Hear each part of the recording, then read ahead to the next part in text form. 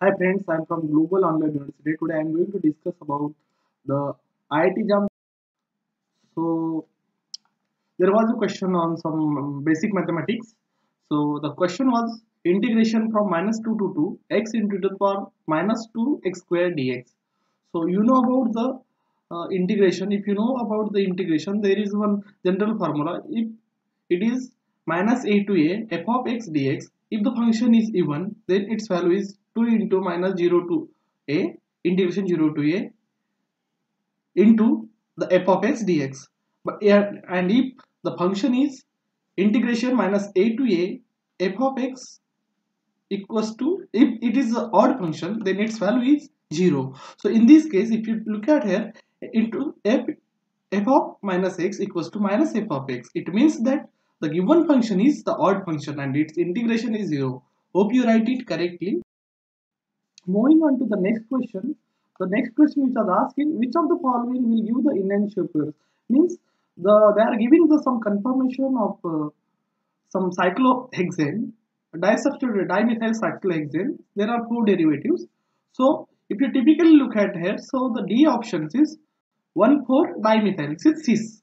So if you draw the correct structure like in this fashion you will see this is this is cis 1 4 dimethyl. So it's having a plane of symmetry so this won't be the enantiomer so in the uh, second case also in first case 1 3 dimethyl cis 1 3 dimethyl.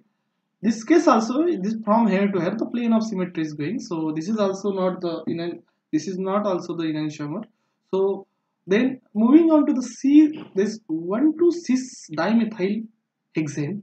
So in this case also cyclohexane derivative. So in this case also there is a plane of symmetry. So this one this will also not be the option.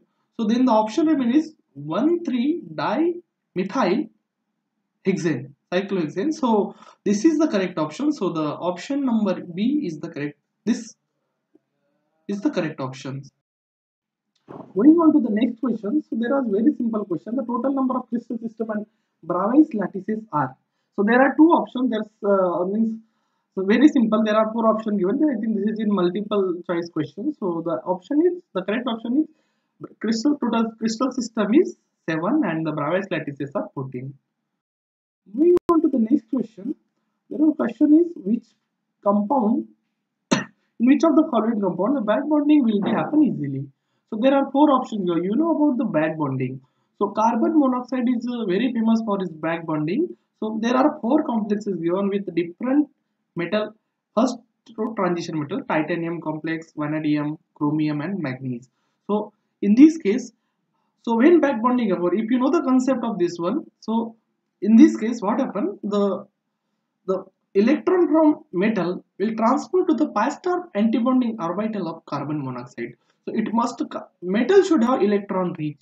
So if you typically look at it as a mn is in plus charge means it is electron deficient so those sorry. So in this case which metal is having more charge negative charge will be easily go back bondings and this metal carbon bond will be stronger and carbon monoxide CO bond will be weaker. So in this so out of this the correct option is this is this titanium hexacarbonyl titanium 2 minus.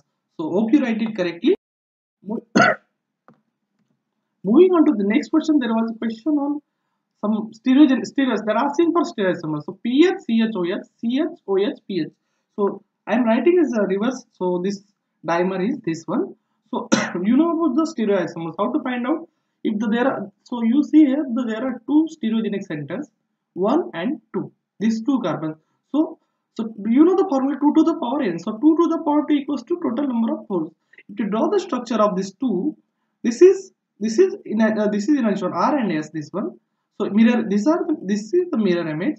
So the moving on to the, this third and fourth one if you look at here the third and fourth one there is one mirror plane. This plane will cut into two equal it means that there is no chirality. It means that this is this two compound called as meso compound so total number of stereoisomer 1 2 and 3 so one only we have we will consider only one of this. So total so total is 3 so 3 is the correct option moving on to the next one there is a question on kinetics. So there are they are giving that the half-life period of of a first order reaction is 30 minutes. So for 80% completion how much time it will take in minutes? So you know what? T half equals to the half-life period is nothing but the reactions.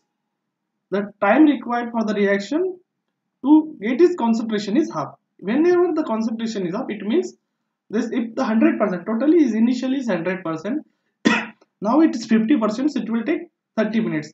After that 50 that 50% is there so if 50% is going to half means 75 it will also give 30 30 30 60 minutes and then they are asking for 80 minutes. So again if you calculate for 50% you will get some 87.5 so if you calculate uh, so in this case we will get 72 because we have to divide by this uh, 30 we have to make it in 5 digits. Then 5 will give 6 into 2 12 so we have to add this 60 plus 12 is 72 minutes. This is the correct option. Hope you right thank you so much for watching this video. Please subscribe our channel for more updates. Thank you